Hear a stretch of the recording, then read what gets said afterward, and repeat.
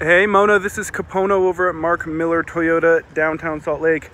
Hey, just wanted to take a moment and show you the 2016 Ford Explorer that you inquired on is here and available.